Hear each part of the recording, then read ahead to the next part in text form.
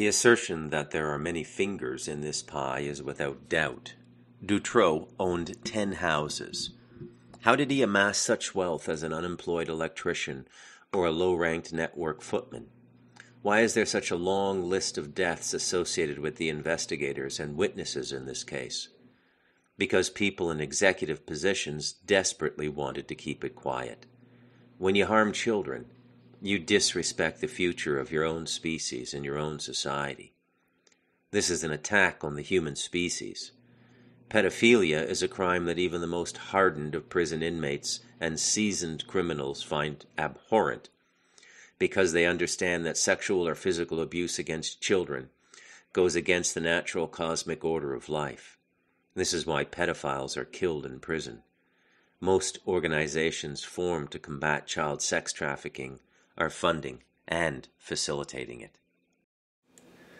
Well, good morning, folks. It is um, 11:06 a.m. my time. It's Friday, the 17th of May and we're going to do another installment of the human devil probably the last one and then i might do an overview of the whole chapter in one other podcast and see if there's anything that i can remember that i might have left out in terms of connective tissue and things like this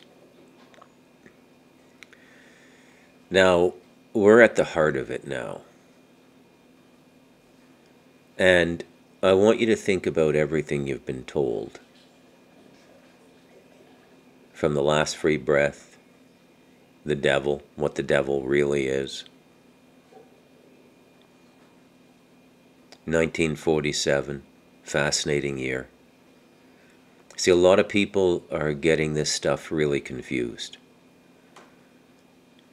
And they're falling back to their old Boolean decision making process. And the consciousness we're going into now to survive is going to be one where it's not going to be zero or one. It's not going to be yes or no. It's not going to be black or white. What are all these abductions? Oh, they're demons, say the Christians. Another interesting thing you might want to note is as you follow through this abduction phenomenon, who's getting abducted? What nationality are they typically? How pervasive is this all over the world? Some of you may have looked into this topic considerably, and others of you not so much. There are stories, extraordinary stories about uh, benign abduction. I mean, the people are a bit traumatized. Benign abduction in Argentina. Why Argentina? Isn't that interesting? Well, you know who went to Argentina after World War II? A lot of the Nazis, which, as I've already made abundantly clear in my podcasts are the Zionists, and the Zionists are the Nazis. See, they're not really enemies. Never really have been, I don't think. That may seem like a strange thing to say, given that the Jews were rounded up with the homosexuals and the gypsies in World War II and put into concentration camps. But are we not living in a time now where our own people are going to sacrifice us, are sacrificing us? Is this not what the vaccine is about? Is this not getting worse every day as the research comes in? And there's no turning back from this. There's absolutely no turning back. Can't turn back. You can't un take it out of the people. And once it's in, it's in. And because it operates at the level of mRNA, okay, or RNA, the vaccine is called, the technology is called mRNA. And RNA is, of course, ribonucleic acid, which communicates with deoxyribonucleic acid, which is your connection to at least the, the first stages of higher consciousness, the first two stages of higher consciousness. Until you can exist as just a, a pure energy center, no corporeal form.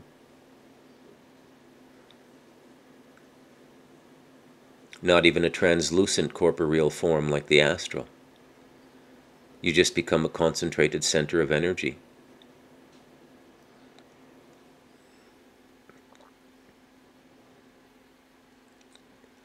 Why would they do this? Why would they create a medicine so potent and so dangerous and so destructive to the whole human race? Why would they invent something that violates every tenet of decency?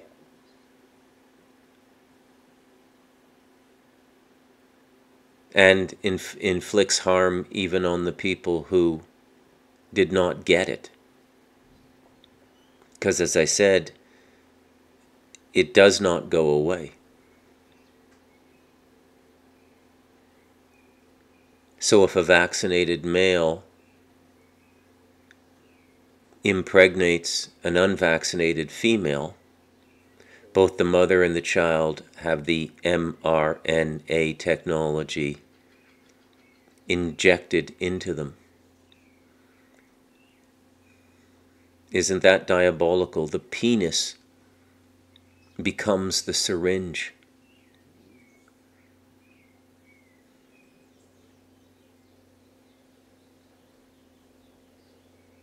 Think about that. Think about everything we've talked about.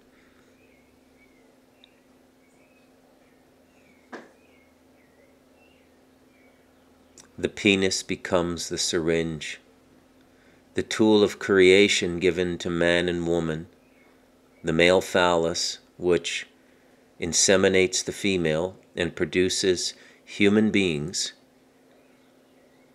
has been weaponized. Think about that in context to all of the kink, all of the debauchery and depravity I've shared with you in this series on the on the human devil. This chapter, these podcasts on that chapter. What is it? Well, it's ritual at a new level. It's no longer just the Mother of Darkness Castle in Belgium or Bohemian Grove which is lightweight stuff compared to the smaller circles of ritual sacrifice. What's happening to all these children crossing the border? Why have they turbo boosted the sacrifice so much? Why are they doing so much magic? What are they trying to affect? What are they trying to change?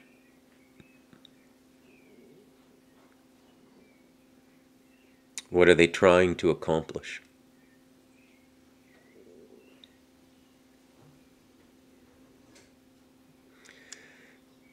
You could certainly look at the history of the human race and see it as barbaric. Europe has been warring with itself for centuries. Men meeting in fields with shields and swords and bows and arrows and lances and horses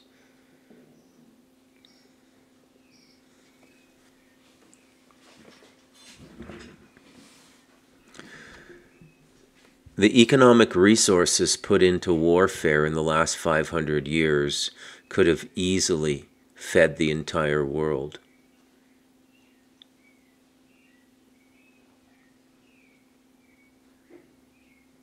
It is really quite astounding how much resource goes into warfare in every generation. And I'm not a pacifist per se. In many ways, I realize that self defense is necessary in this world, both at a personal level and at a national level.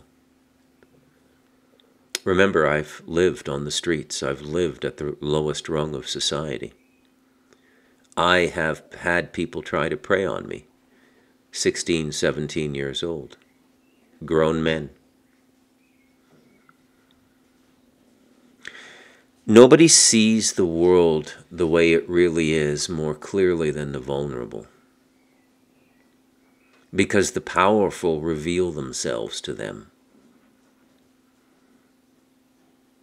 The rapists, the violators, the murderers. Even the serial killers, like Robert Pickton. So that subset of society, the streetwalkers in Vancouver, they knew a decade and a half before they finally caught Robert Pickton. And many, many of them told the police. And the police did nothing.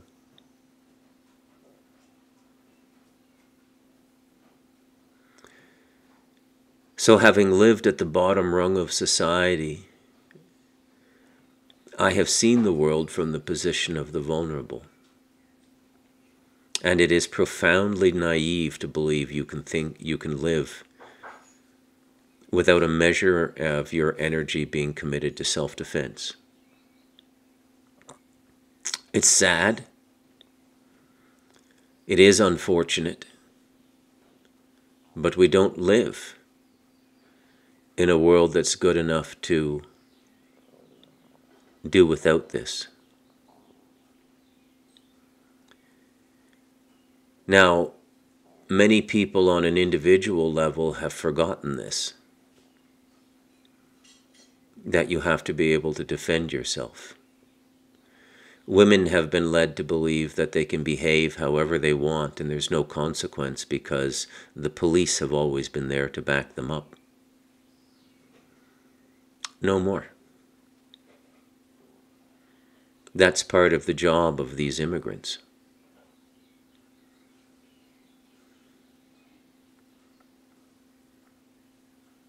To bring the daydream reality that we've become.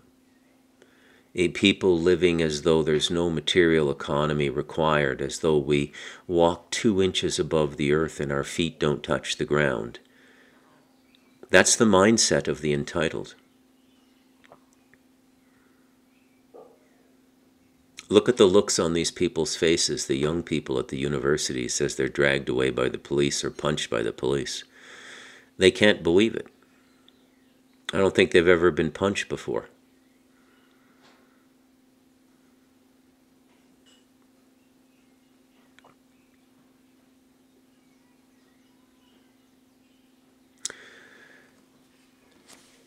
Let's take a look at a clip that I've prepared, which is going to explain a lot of this to you.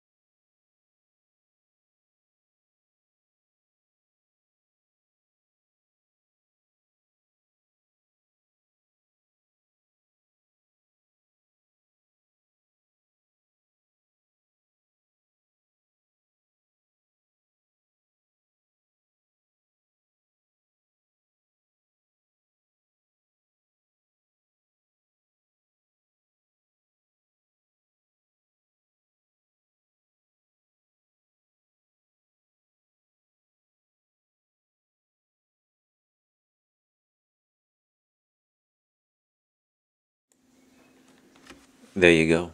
Naomi Wolf, a once prominent American intellectual, intellectual who has burned her public reputation in defense of humanity, and I commend her. It's not easy to choose the light right now. There are sacrifices that have to be made. This situation will reach a point where the only voices you're going to have are people like me who have set themselves up in a remote place where the law hasn't changed and the culture hasn't changed. And that clip was correct, by the way. This is largely an attack upon the West. They want to destroy Western civilization. Why? I can think of a couple of reasons. You could go to YouTube right now and hear some rabbi talking about it the death of Edom, the death of Amalek, which is Rome, the descendants of Rome. It's very ugly stuff. Unbelievably ugly stuff. One hesitates to even fathom the kinds of minds that could do this.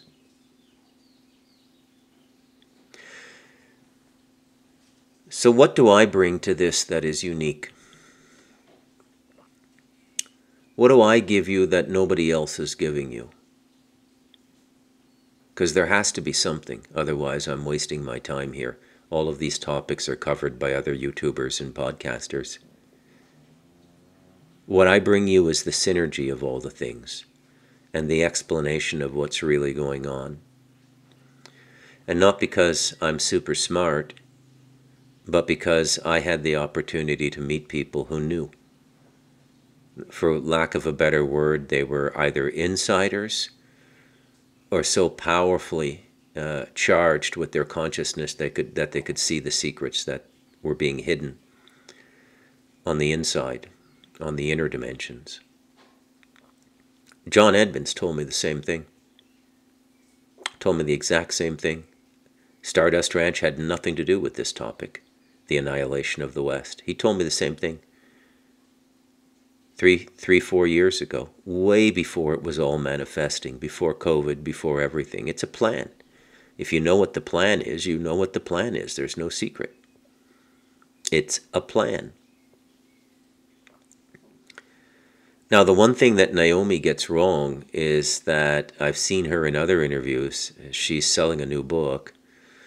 And in those other interviews, she said that it's the Nazis.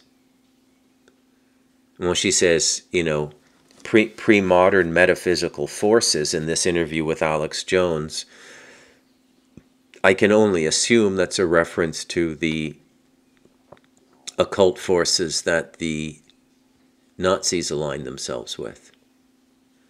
Well, it's the reptilians. Remember what Sri M said in that interview?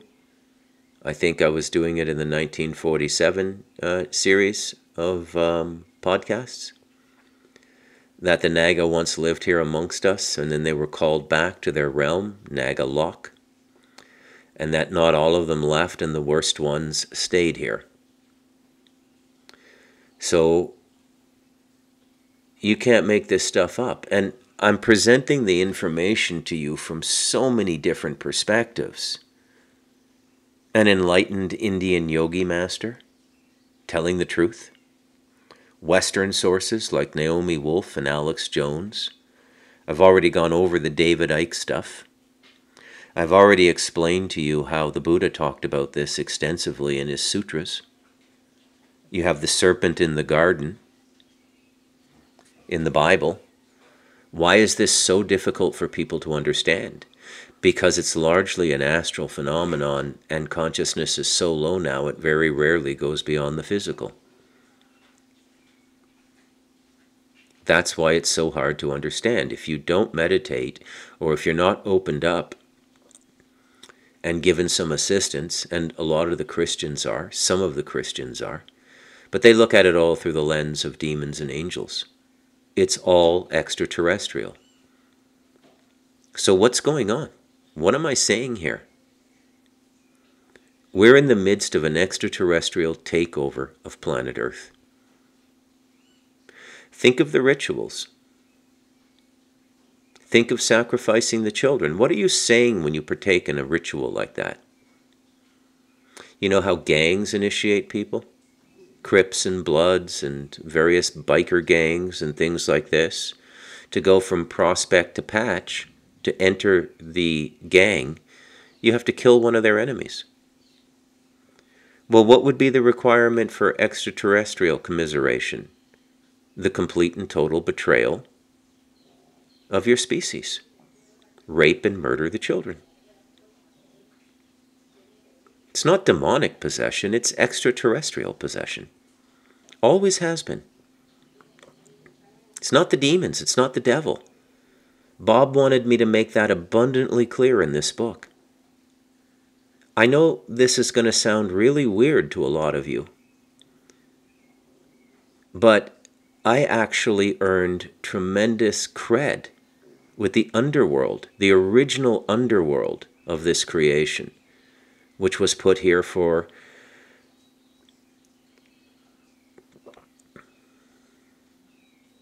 corrective reasons to keep the balance here.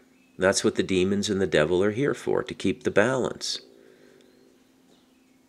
Okay? But it's always been human up until now. It's no longer human. Now, we ourselves are extraterrestrials. So the whole story is extraterrestrial. Every person on this planet is an extraterrestrial in, in terms of their astral identity and not being native to an evolutionary process on this planet. There might be a small population of human beings that were indigenous to the planet, some bygone past, and extraterrestrials like the Anunnaki came here and genetically altered them to force evolution. And that's one of the things that's going on down here, and that's why it's so uneven and chaotic, is that a lot of the evolution is forced. You know, what the extraterrestrials, from a benign perspective, are trying to do is they're trying to improve upon the original design of the universe, which is to bring consciousness back into union with the Creator, which I'm quite sure a lot of the extraterrestrials can't do. A lot of them have augmented themselves with technology. A lot of them have augmented their genetics so they can't reproduce normally anymore. Some races went to cloning. Cloning will last about 80,000 years. Seems like a long time, right? When you consider that we, we live within a historical framework of about 6,000 years in the West, beginning with the mythical Hebrews, who never really existed.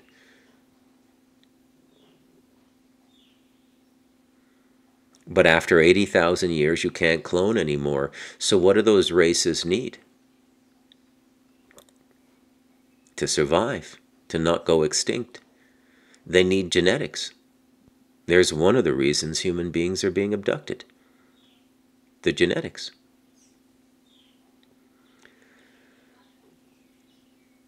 The rituals and the sacrifices are about betraying your race. The Christian looks at it, other religions look at it, and they say they've gone with Satan. Their soul is damned to hell.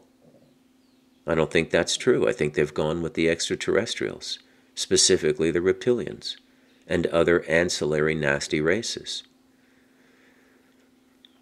I feel the need to say something a little bit positive so that people don't get too freaked out. So here it is. You really can't be destroyed. The moment you pass to the other side, it's Everything that happened in your life is almost forgotten. You watch those near death experiences. I've watched dozens and dozens of them over the years. They're all, they're all basically the same. So when we're in a body, we're, we're working on the experiment. When we're out of the body, we're outside of the experiment.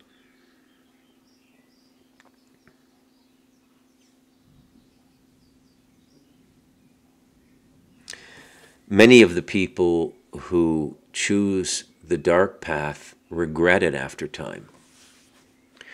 Most of the people, the vast majority of people on the dark path, themselves believe they're worshiping Lucifer or Satan or some entity like Moloch. It's all currency. It's all just currency.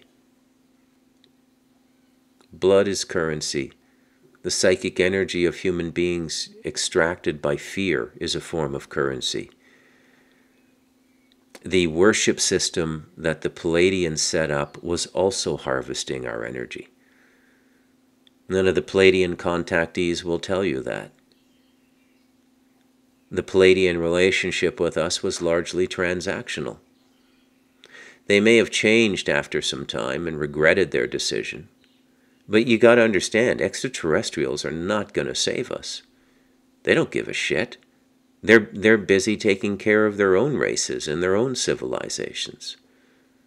This is just an experiment down here. And the only sense you can make of it is to reconnect your consciousness with Source because the animation of these vehicles is done, the animation of these bodies is done with aspects of the energetic construct we would call a soul. And the extraterrestrials didn't create that. They're experimenting with it to see what it's all about.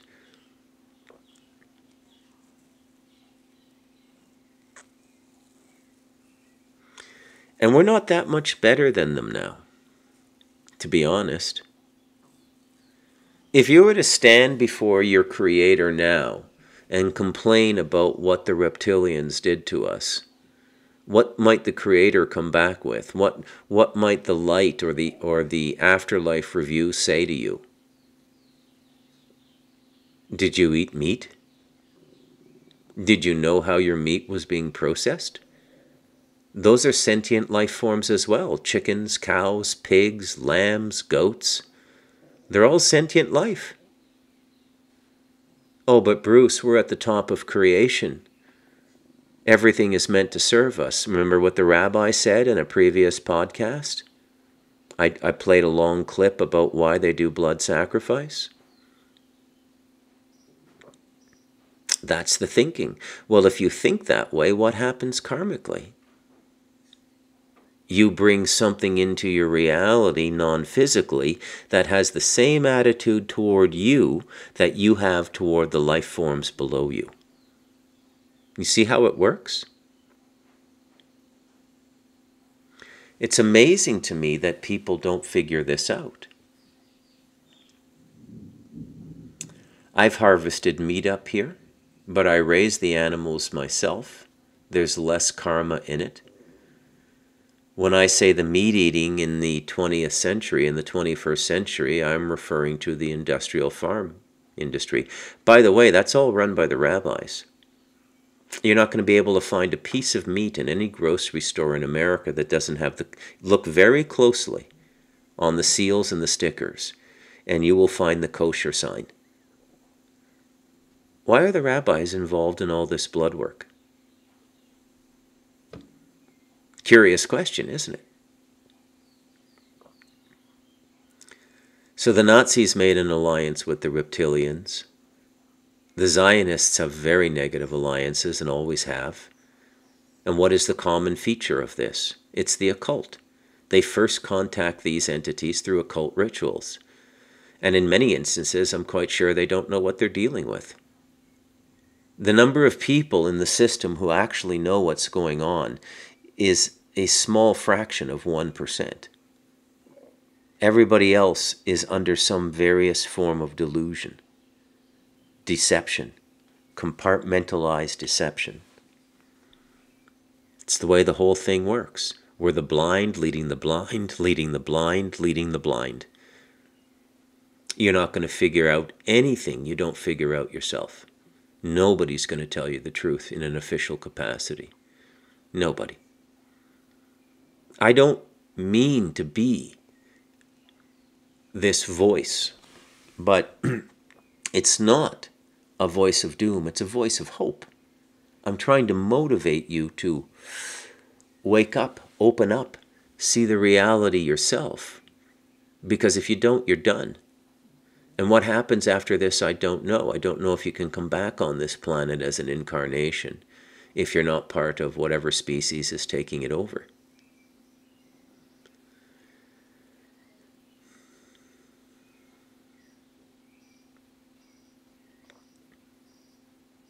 So, how did they do all this? Some of you may be thinking to yourself, justifiably so, I wouldn't blame you. Bruce, this sounds fantastical. You're speaking in such extraordinary generalities. How could such a deception be perpetrated? Well, remember, we start in the last free breath which is basically from about 1880 onwards, which is, if you've read the book, is why I start with um, Henry David Thoreau, Walt Whitman, and the American Transcendentalist writers. And I say this is the last free breath we had. When you have poetry like this, when, when your society is producing poets like this, you're still spiritually connected. We don't produce poet, poets like that now. We produce and forgive me for saying it this way, but I just find it's better to speak honestly and directly. If you go to buy a book of poetry now, chances are it's written by, at least I'm speaking from Canada, where I understand the literary community very well. Chances are it's the poetry of an angry minority lesbian woman who's got nothing to say. It's basically a victim impact statement. The world did me wrong because it didn't accept me. These people are very angry. That's why they're being put in power now.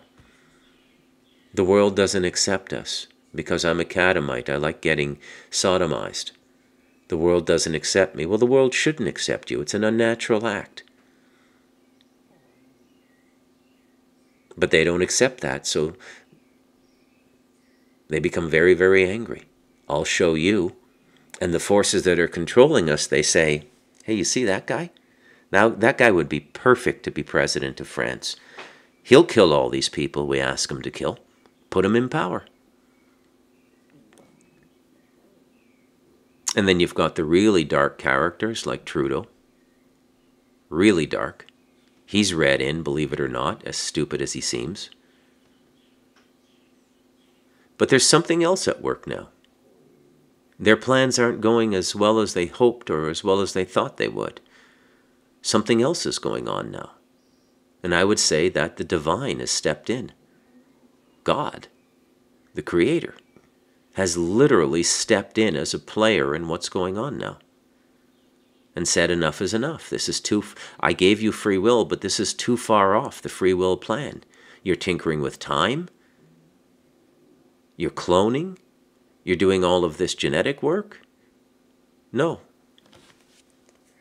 and so, where the divine would step in, that would be the humans and the extraterrestrials being corrected. And yes, the extraterrestrials are under the same. Remember, cosmic law is cosmic, it applies to every part of the universe. There's no race that's exempt from it. No reptilian, no nothing. They're on their last legs. They're going to be taken out. Okay? This is actually a good story, a happy story, what we're going through. We do win. The price will be enormous, but we do win. So, how did it all start? Well, let's take a look. Let's take a look at these pictures. That's the U.S. Federal Reserve. That's the Bank of England. That's the Bank of Canada. It started with the banking system from a North American perspective. The oldest bank, of course, is the Bank of England, which started in the late 1600s, I think about 1684 or somewhere around there. The story of the creation of that bank and the occultists behind it, which at that time were very dark Amsterdam Jews, very dark, which is why Amsterdam is the center of power now, right? Brussels, you know, so you've got the Netherlands and Belgium are, are the centers of the globalist system now. Okay? The center of the globalist system.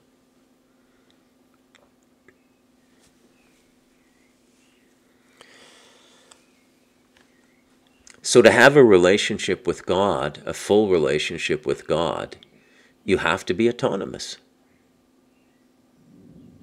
What is autonomy? It means you stand on your own two feet.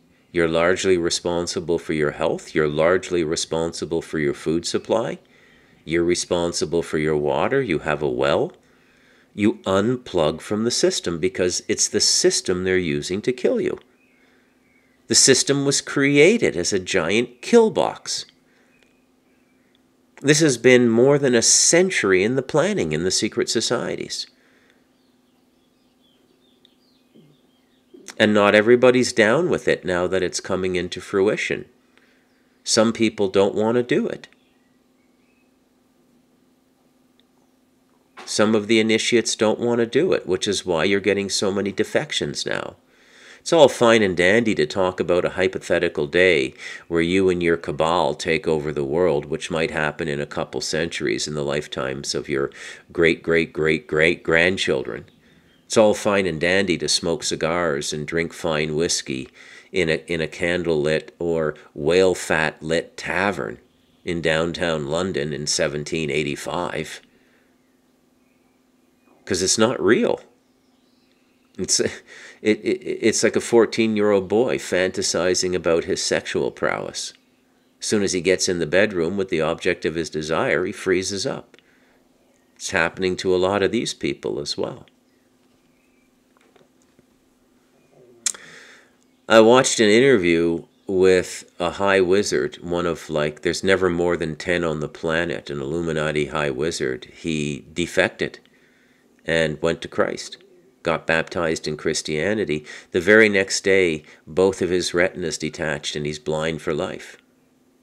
All right, so that was the compromise they worked out between the light and the dark for what he had done. He's not even a doctor, and he was doing 1,500 abortions a year. They, the abortions are part of the Moloch ritual. They sacrifice the child. The most, the most potent is a late term abortion, and that's because the fetus could exist outside the body. I believe I talked about this in another podcast. So, what is it that the banking did? Well, what the banking has slowly done, and it's not that old. It's in Canada it started in 1938 and in the United States it started in 1913. It's only a 100 and a bit years old. It's only like 3 generations old. My grandfathers were born in 1900. My grandfathers, and I'm 57 years old. They were born before the central bank in the United States and the central bank in Canada. So when you look at the banking system, do you think that the United States ever really gained independence from Britain? Ever so briefly. But that's the War of 1812 was about forcing the European banking system on the colonies. That's what it was about. Abraham Lincoln didn't do anybody any favors either. Okay?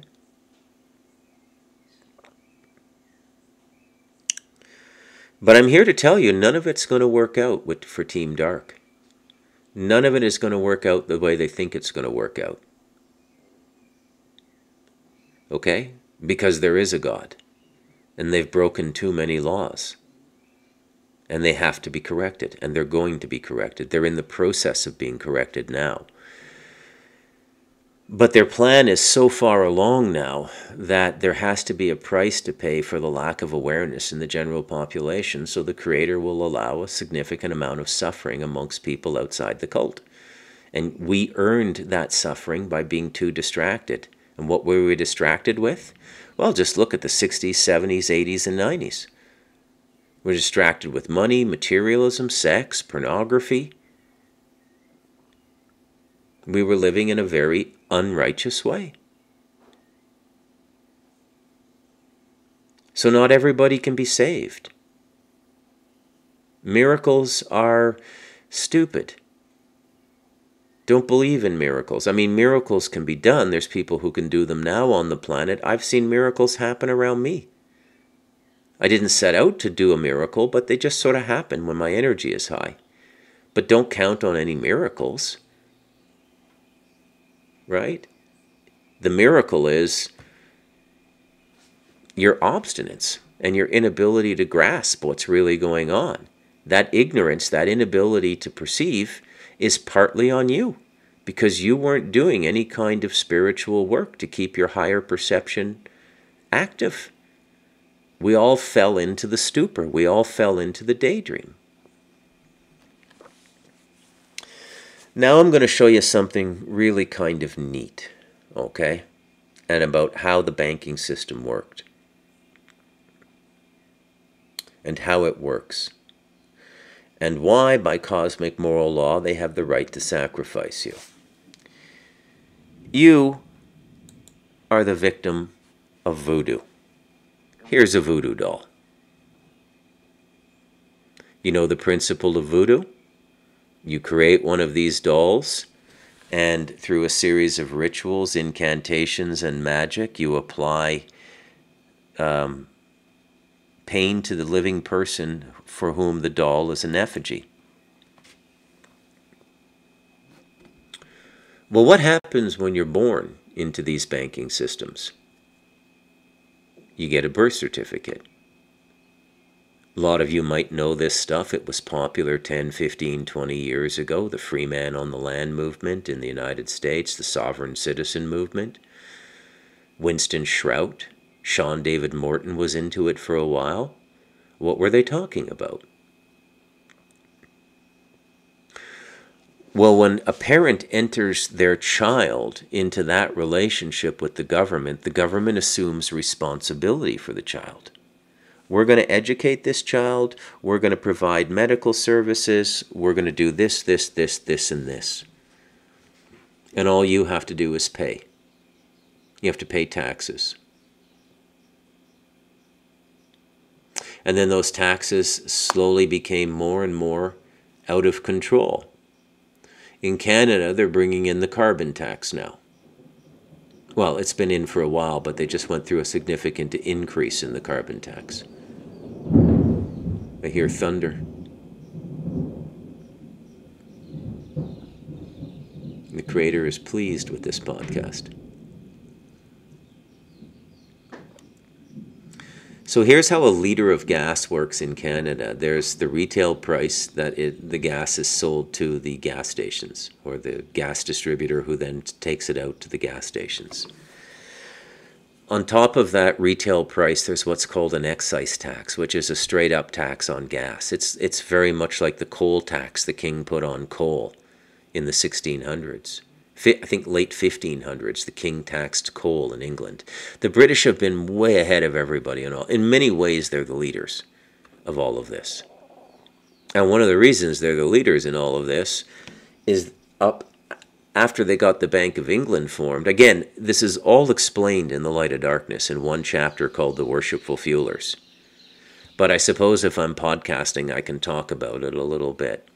And these two books work together The Light of Darkness and The Devil in Us. And yes, people comment that there's a lot of typos in The Light of Darkness. Devil in Us is very clean, but there's a number of typos in The Light of Darkness. And people sometimes send me messages and say, hey, Bruce, you know, I found this. I'm fix this, this, and this. And I always write back to them and say, look, writing that book was like holding a hot coal in my hand. I'm not picking it up again. Let it let it exist with the blemishes because they are an artistic preservation of the duress of the book. Very difficult. Of all the books I've written, The Light of Darkness was the most difficult because it was my first encounter with this level of darkness. I'm giving it to you in spoonfuls. Okay? when I wrote The Light of Darkness, uh, as I said, I just went into the darkness. And ultimately, that was consummated with three days in the dark universe, the dark world. Okay? At the time, it was harrowing and a little bit traumatic. Four years later, I'm very glad I went through it. Very glad. because the darkness reveals itself to me now, which is why I see all these things so clearly. Because I can handle the vibration of darkness. And we're operating, all governmental and institutional logic is happening out of the dark world now. So if you can't go into the dark world and think the way they think, you're not going to understand what's going on. I mean, I'm doing my very best to explain it to you slowly, painstakingly, But the ultimate learning lesson is going into the dark world. So when you get the birth certificate, they create a fiduciary account for you. And they create the, the benefit, the beneficiary of all of the state's promises and benefits is not you as a living person connected to God. It's what they call the legal person, or what some people might call the straw man. Now, the straw man is an old symbol in occultism. You've got the wicker man in Druidism, right, which was a burnt offering as well. I mean, my people, the Celts, used to sacrifice people as well. Okay? Not the way it's done in Israel. And generally, the people that were sacrificed were the powerful people. Okay, so, and if, if you read The Golden Bough by Robert Fraser, the father of anthropology, you will find that all pre modern societies would kill their kings and maybe the, the king's entire family if there were one or two seasons of crop failure. That was the price of holding power in antiquity. In ancient times, pre modern times. So there weren't a lot of people rushing to be in power. You had to have a strong sense of what was going on and how you could uh, guide and direct your people. Now, all of these rituals persist, but in effigy. It's a pantomime. We ritually cut the leader's head off when we vote them out. So, Joe Biden will be ritually sacrificed this year in 2024. We're done with him. We're going to kill him at the, at the voting stations, probably. And it's not going to help matters that much because Donald Trump is in many ways as crazy or crazier than Joe. They're all crazy now. There's no options. This guy that Alex Jones endorsed in Canada, Pierre Poilievre, nice enough guy, and he, he contradicts Justin Trudeau well, but his wife got the a company that her wife is um, an equity holder in got the contract for all of the COVID tests, those things you stuff up people's noses, which were very bad as well. I'm not going to get into it, but look, as I say, and I'll continue to repeat myself, you can take anything I say, COVID tests, nasal COVID tests, and you can go and do a week of your own research on that one topic. That's not my job. My job is bringing it all together for you to give you the picture of the situation you're in.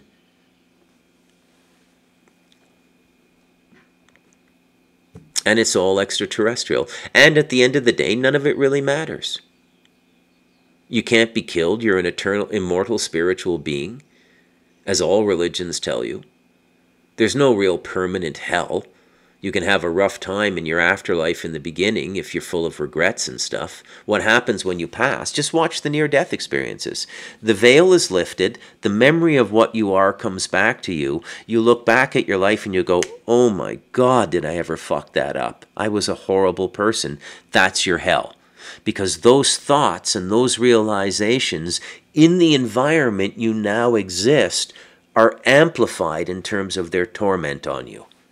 You can't hide from your conscience on the other side. It's all very simple. It's all very scientific at a certain level. Nothing complicated about it at all. It is what it is.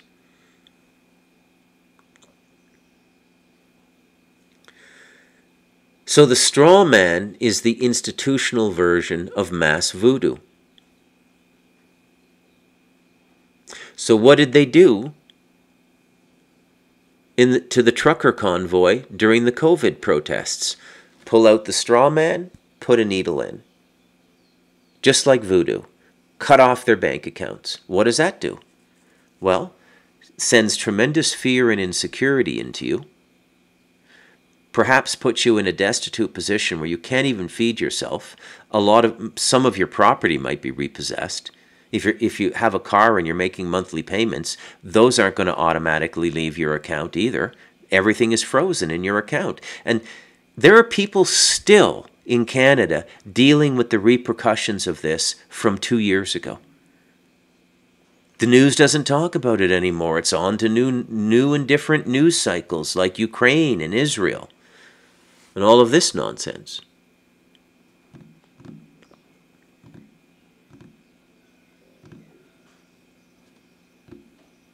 So the straw man is the voodoo doll. You can give it up. I know people in Canada who've given it up. You you you you write a letter, you get it notarized by a notary public or a lawyer. You put your birth certificate and all your formal ID into an envelope and you mail it back to the Attorney General in Canada. You keep a copy of the letter for yourself and then you can continue to do everything that anybody else does. You can drive on the highways. I know people in Canada who've been driving without a license for longer than 20 years. Cops can't do anything to them. They're out there, they don't operate in the legal person, they operate in their natural person. Now, if anything were to happen and they were to kill somebody or anything, there would be no insurance, there would be no state support for that. But that's all going away now, anyways. They're, the legal person is the mechanism by which they're rationalizing the mass depopulation of Western societies. You, you asked us to take care of you. Here's our financial reality, largely because of fiscal mismanagement and theft, because these capital systems have just been theft. We're coming up on the first generation of recipients for the old age benefits first generation, the baby boomers, because all of this stuff is new. It started in the 60s and 70s.